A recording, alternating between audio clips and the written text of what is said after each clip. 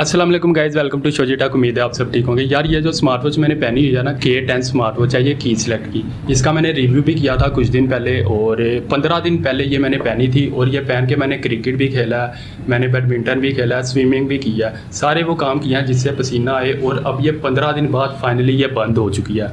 मुझे पता है काफ़ी सारे लोगों का ये इशू आता है कि वो स्मार्ट वॉच बाई करते हैं और कुछ दिन के बाद उनकी स्मार्ट वॉच बंद हो जाती है और फिर वो रिपेयरिंग वाले के पास जाते हैं। उसे जाके हज़ार बारह सौ रुपया वो देते हैं और रिपेयरिंग वाला करता कुछ भी नहीं है, उसकी थोड़ी सी चार्जिंग पॉइंट्स की सफ़ाई वगैरह करके वो वापस दे देता है। तो इस वीडियो में मैं आपको बताऊँगा कि ये चार्जिंग वाला इशू आपने किस तरह से सोल्व करना है। वीडियो आपने अंत तक ज़रूर देखनी है और चैनल को भी सब्सक्राइब करना है।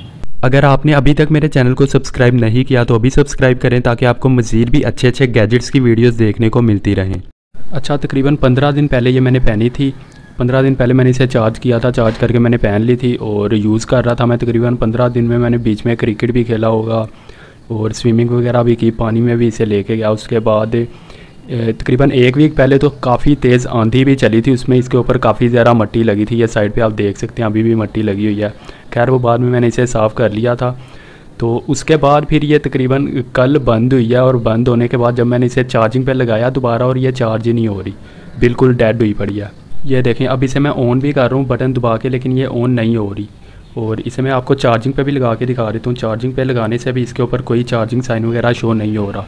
ये देखें, इसकी चार्जिंग केबल लगा दिया इसकी बैक साइड पे, और अब इसका जो चार्जर है वो स्विच में लगाने लगा हूँ मैं।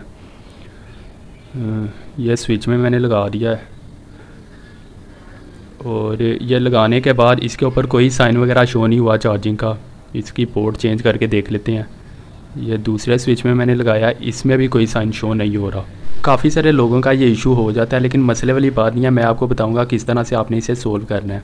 बेसिकली होता यह है कि जब कलाई के ऊपर हमें पसीना आता है तो पसीने की वजह से ये जो बैक साइड है पॉइंट है इसके चार्जिंग के, इनमें पानी जमा हो जाता है। पानी की वजह से इनके ऊपर रस्ट आ जाती है जंग लग जाता है, और जंग की वजह से वो करंट पास नहीं हो रहा होता, और ये बिल्कुल डेड हो जाती है।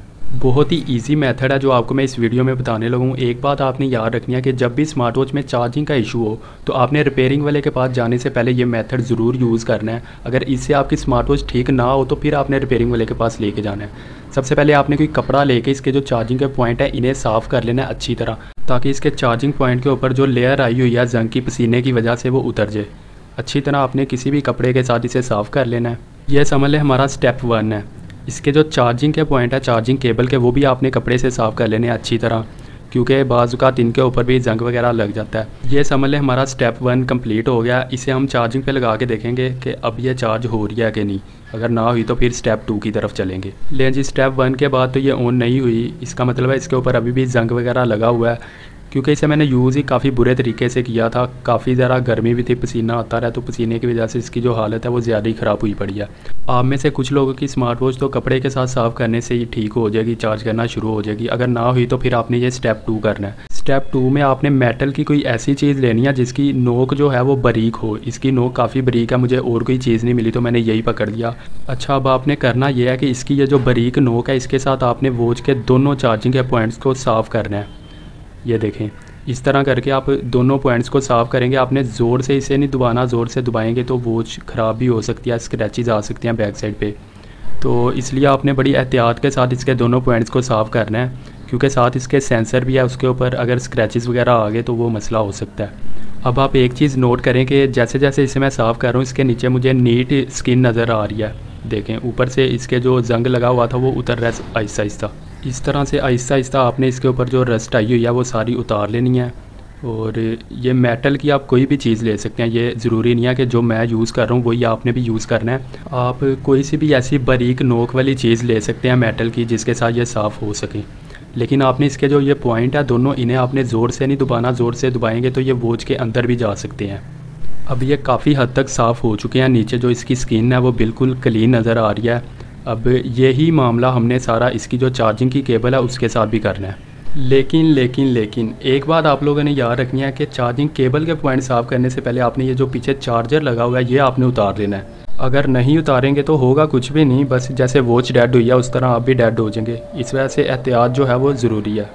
इस तरह से आपने केबल को पकड़ना है और साफ़ करना शुरू कर देना है। क्योंकि केबल के ऊपर मैग्नेट लगा हुआ है और मेटल के साथ मैं साफ़ कर रहा हूँ तो मुझे थोड़ा सा मुश्किल हो रहा है साफ़ करने में मैग्नेट की वजह से। तो इस तरह से आपने इसे अच्छी तरह से साफ़ कर लेना है। इन पॉइंट्स को भी आपने ज़ोर से दुबाना नहीं है। अगर ज़ोर से दबाएँगे तो ये अंदर को जा सकते हैं और ख़राब हो सकते हैं। तो बड़े आराम से आपने इसे करना है। तो फाइनली हमने वॉच के जो पॉइंट है, वो भी साफ़ कर लिए हैं और चार्जिंग केबल के पॉइंट भी साफ़ कर लिए हैं। और अब हम देखेंगे इसका फ़ाइनल रिज़ल्ट, कि इसका जो नतीजा है, वो क्या निकलता है। केबल जो है वो मैंने अडाप्टर में लगा दिया। अब जो चार्जिंग का पॉइंट है वो वॉच के बैक साइड पे लगाते हैं। फाइनली मैंने केबल लगा दिया बैक साइड पे अल्लाह का नाम लेके। ओह हो हो हो गया ऑन ये। ये ये ये। क्या बात है, क्या बात है मेरी। अब इसे थोड़ी देर चार्ज होने देते हैं। चार्ज थोड़ी सी हो जाएगी, फिर इसे मैं ऑन करके आपको दिखाऊँगा। इसे अभी इसी तरह रख देते हैं चार्जिंग के लिए। तो इस तरह से अगर आपकी भी वॉच अचानक से इस तरह चार्जिंग उसकी ख़त्म होती है और वो डेड हो जाती है और फिर चार्ज नहीं हो रही होती तो आपने रिपेयरिंग वाले के पास जाने से पहले ये मेथड ज़रूर यूज़ करना है। सबसे पहले कपड़े के साथ उसे साफ़ करना है, फिर मेटल चीज़ के साथ साफ़ कर लेना है। ये देखें ऑन हो चुकी है वॉच हमारी के टेन अगर ये स्मार्ट वॉच अगर आप बाई करना चाहते हैं तो लिंक आपको मैं डिस्क्रिप्शन में दे दूँगा। और वीडियो बनाने का मकसद यही था कि यार, ये जो इशू है ना, ये काफ़ी सारे लोगों के साथ आ रहा था। क्योंकि मेरा स्टोर भी है, उसके ऊपर भी अक्सर कंप्लेन वगैरह आ रही होती है कि स्मार्ट वॉच चार्जिंग के बाद चार्जिंग एंड होने के बाद डेड हुई है और उसके बाद वो चार्ज नहीं हो रही दोबारा। तो उन्हें भी मैं यही मेथड बताता हूँ कि कोई इशू नहीं है, पसीने की वजह से ये मसला हो जाता है। तो इस तरह से पॉइंट्स वगैरह साफ़ करें कपड़े के साथ और मेटल के साथ तो ठीक हो जाएगी और वो ठीक हो जाती है। और अगर आपकी स्मार्ट वॉच ये मेथड यूज़ करने के बाद भी चार्ज नहीं हो रही तो फिर आप इसकी जो केबल है, वो चेंज करके देखें, क्योंकि अक्सर केबल भी ख़राब हो जाती है। किसी शॉप वाले के पास जाके या किसी और से इसकी केबल लेके लगा के आप चेक कर लें कि केबल का इशू तो नहीं है। अगर केबल का भी इशू नहीं होता, फिर भी नहीं चार्ज हो रही होती तो फिर आप इसे रिपेयरिंग वाले के पास लेके जाएँ और फिर हो सकता है इसका कोई अंदर से बैटरी का या इसका जो चिप वगैरह वो ख़राब हुई हो। अदरवाइज़ आपने ये जो मेथड है, ये यूज़ करके तसली करके फिर रिपेयरिंग वाले के पास लेके जाना है। उम्मीद है आप लोगों को वीडियो अच्छी लगी होगी। अच्छी लगी है तो यार वीडियो को लाइक कर देना। अगर स्टिल आपका कोई इशू है तो कमेंट बॉक्स में मेरे से पूछ सकते हैं। नेक्स्ट रिव्यू तक अपना ख्याल रखिएगा। अल्लाह हाफिज़। अगर आपने अभी तक मेरे चैनल को सब्सक्राइब नहीं किया तो अभी सब्सक्राइब करें ताकि आपको मज़ीद भी अच्छे अच्छे गैजेट्स की वीडियोस देखने को मिलती रहें।